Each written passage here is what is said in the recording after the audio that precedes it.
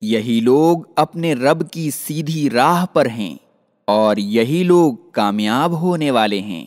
یہاں خدا سے مراد نور بصیرت، اللہ کے دین پر استقامت اور عمل صالح کی توفیق ہے۔